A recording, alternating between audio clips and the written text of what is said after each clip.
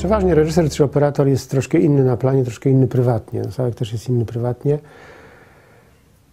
Jest bardziej wesoły, e, luźny na sposób bycia, będąc właśnie poza planem filmowym. W życiu jest refleksyjny, mm, e, mm, to nie ma takiego tempa jak w momencie, kiedy zaczyna robić zdjęcia. Mieliśmy takie sytuacje w Niemczech, kiedy był jeszcze młodym, szybkim operatorem, to mm, ta przerwa obiadowa wydawała się jemu za długa i ja jeszcze kończyłem obiad, a on mówił, długo będziesz jeszcze jadł, no bo byśmy coś zrobili.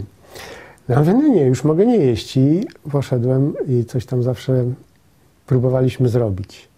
W późniejszym okresie jakoś tak starał się w ciągu dnia nabrać e, świeżych sił i znikał z planu natychmiast, jak tylko ktoś zaczął mówić o przerwie obiadowej, to już znikał z planu, gdzieś tam spał sobie. Kiedy zbliża się operator, prawda, i trzyma ten światłomierz przy twarzy, e, ja zapamiętałem zapach rąk Sławka. Jemu bardzo ładnie zawsze pachniały ręce, bardzo dobrą wodą kolońską. To jest może banalne, ale to jest, to jest bardzo fajne i przyjemne dla mnie wspomnienie. Od początku, odkąd go znam, był poszukiwaczem przygód. Poszukiwaczem przygód na ekranie.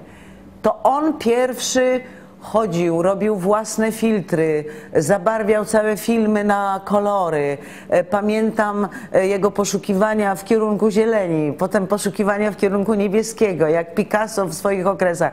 On miał, on miał zawsze otwartość i potrzebę eksperymentu. A Sławek zawsze dążył do tego, żeby nie fotografować e, rzeczywistości, no bo to jest nudne, każdy widzi tą rzeczywistość i po co to samo pokazywać na ekranie.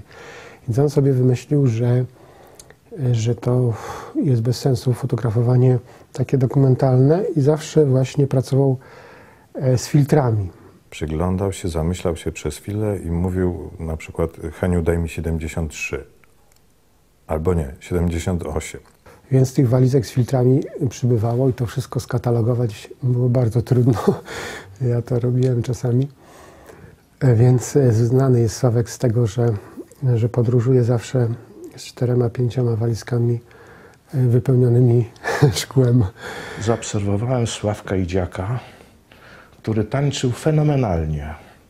Czy to był styl, tanga, dżajfy. No, robił to znakomicie. Wykazywał olbrzymie poczucie rytmu. Był świetnie wygimnastykowanym młodym człowiekiem. I później, wydaje mi się, przeniósł to poczucie rytmu na swoje filmy.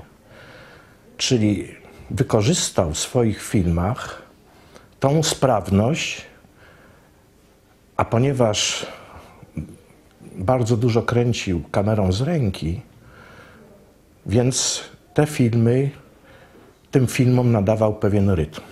W tej scenie, w tym długim mastershocie odbywał się jakiś szalony taniec człowieka z kamerą. To jest y, Sławek z, z, kamerą na ramieniu, w ręku. On, on po prostu z, z nią robił wszystko, starał się zajrzeć mi w oczy, patrzeć na ręce wszędzie.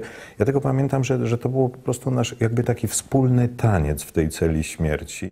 cecha charakterystyczna, że jest to twórca, który jest partnerem w każdej sprawie. Od początku filmu, od początku, od, od momentu powstawania scenariusza, od y, mm, każda dyskusja, nawet między aktorami, to jest ktoś, kto przechodząc słyszy, co mówią aktorzy, słucha tego, reaguje na to, y, włącza się w rozmowę i wiadomo, że będzie to miało przełożenie na ekranie, na plastykę y, tego, co zobaczymy.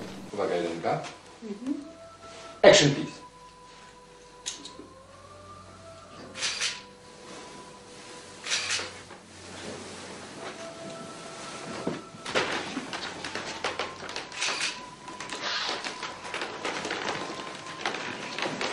Czas na planie jest ograniczony, czas filmu jest zakończony i wszyscy wiemy, że od momentu, kiedy się to zaczyna, do momentu, kiedy się kończy, trzeba wejść na najwyższe obroty, trzeba mm, skupić się maksymalnie, trzeba zacząć działać precyzyjnie, a jednocześnie e, w sposób e, zaskakujący, inspirujący, bo ten czas się skończy, bo potem już nic nie można zmienić, bo to zostaje na zawsze. Coś, co zostaje zarejestrowane, coś, co zostaje, decyzje wszystkie zostają.